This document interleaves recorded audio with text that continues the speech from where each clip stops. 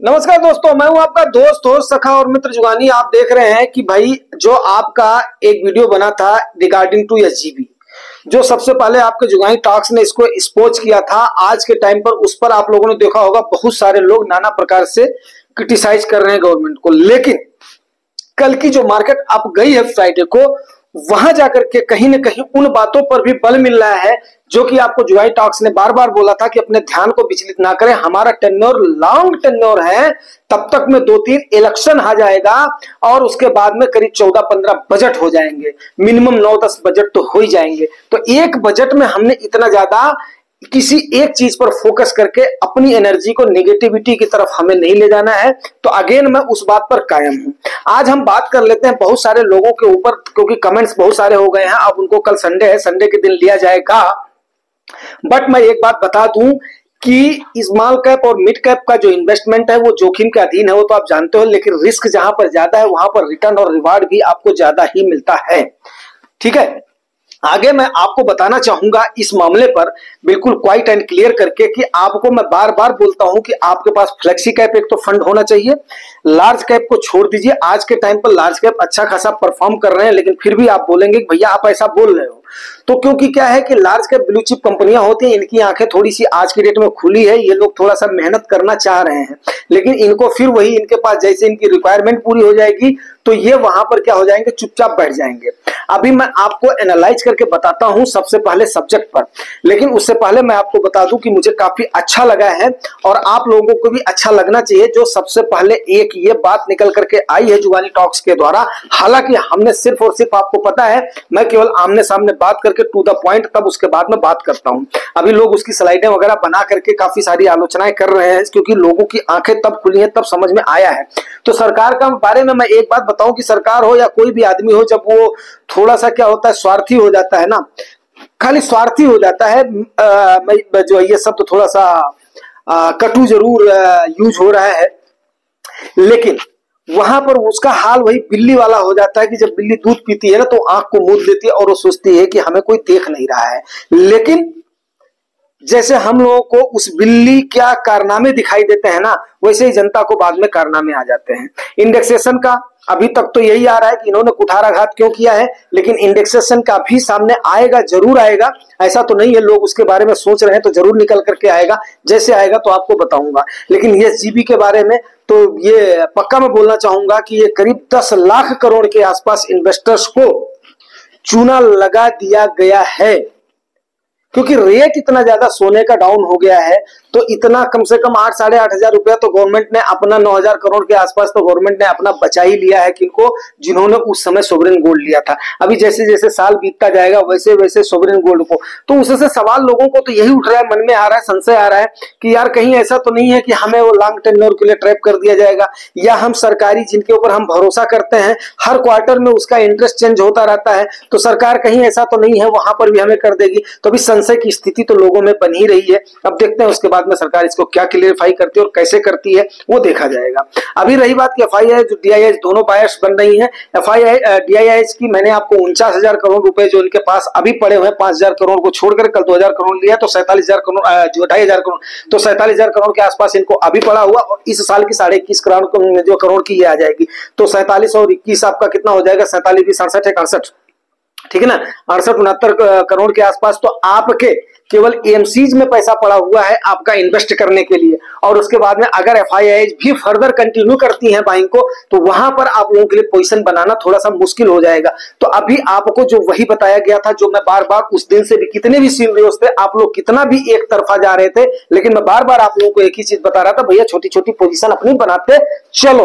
अभी भी राय वही है, चलिए अभी आगे पहले हम कर लेते हैं स्मॉल कैप और मिड कैप का एनालिसिस कर लेते हैं। पहले मैं स्मॉल कैप का एनालिसिस करता हूँ। जैसा कि आप लोग जानते हैं कि एक से लेकर के हंड्रेड कंपनी तक ब्लू चिप जो कंपनियाँ हैं उनको इस लार्ज कैप माना जाता है। ठीक है ना? लार्ज कैप में उनकी संख्या होती है। एक सौ एकवीं से लेकर के दो सौ पचासवीं तक जितनी कंपनियाँ मिड कैप की कैटेगरी में माना जाता है। दो सौ लेकर के चार हज़ार कंपनी तक जितनी कंपनियाँ हैं उनको आपका क्या माना जाता है?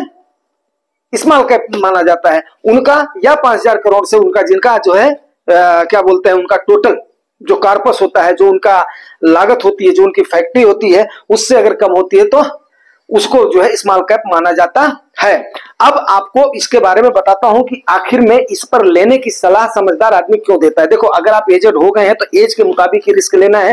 वो 100 माइनस एज का क्राइटेरिया हमने बताया, वो उतना ही पोर्शन आपका इक्विटी में जाना चाहिए, क्योंकि उसके बाद में उसमें आप स्ट्रेस फ्री होकर के निवेश करेंगे। उसके बाद में उसी रेशियो में ही आपका स्मॉल कैप लार्ज कैप और मिड कैप में जाना चाहिए। तो उसको आप देख लीजिएगा, जिनकी एज कम है उसका स्मॉल कैप में ज़्यादा होना चाहिए, जिनकी एज थोड़ी ज़्यादा उनका स्मॉल कैप में थोड़ा कम होना चाहिए। जिनकी एज थोड़ी कम है उनका मिड कैप में थोड़ा एलोकेशन ज़्यादा होना चाहिए। मतलब जो स्मॉल कैप से कम होना चाहिए बट लार्ज कैप से थोड़ा ज़्यादा होना चाहिए।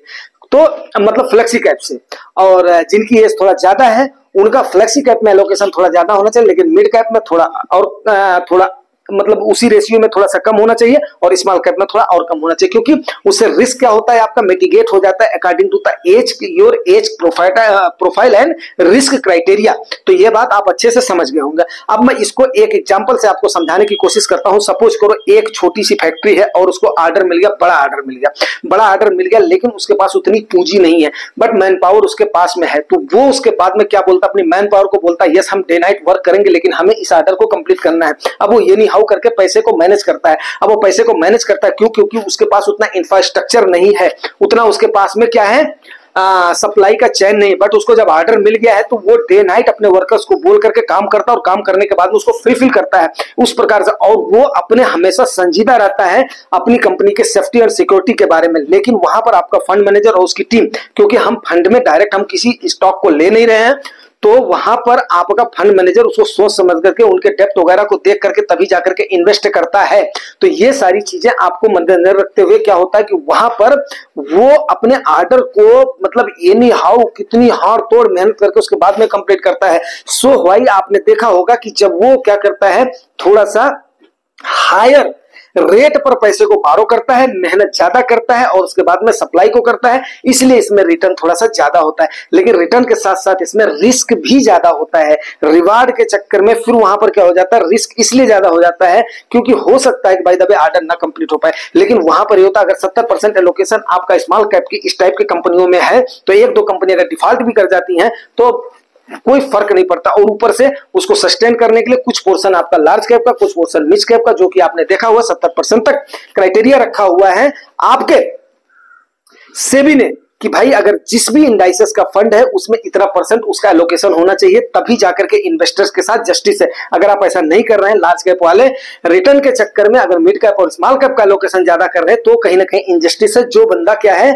आ, एक कंजर्वेटिव इन्वेस्टर है उसके साथ आप कहा जस्टिस कर पा रहे हो? फिर एंड टाइम पर आप बोलोगे कि मेरे पास लिक्विडिटी का क्रंच आ गया और मैं उसको दे नहीं पाऊँगा। मेन बात यहाँ पर हो जाती है। लेकिन अगर आपके पास दस साल या उससे ज़्यादा का होराइजन है तो स्मॉल कैप में इतनी सारी बातें मैंने आपको बता दी है आप स्मॉल कैप में रिस्क ले सकते हो कोई भी दो राय नहीं है। तो जिनकी रिस्क एपेटाइट ज़्यादा है जो वेल सेटल्ड है या जो युवा है और वो सोच रहे हैं कि मेरे को हाईवी कार्पस की ज़रूरत है मेरे पास थोड़ा सा टाइम ज़्यादा है तो वो अपने फंड में दो फंड स्मॉल कैप का रख सकते हैं। एक फंड आप आ, अपना मिड कैप का रख सकते हो, एक फंड फ्लेक्सी कैप का रख सकते हो या किसी आप एक सेक्टोरल या थेमेटिक में जा सकते हो। तो उम्मीद करता हूँ उन लोगों को काफ़ी जवाब मिल गया होगा, जिन्होंने मेरे से पूछा होगा। बाकी मैं जब क्वेरीज को कवर करूँगा तो उसके बाद में इसको कवर करता रहूँगा कि आपको स्मॉल कैप में इन्वेस्ट करना चाहिए, नहीं करना चाहिए। आज के टाइम पर लमसम करने लायक है नहीं।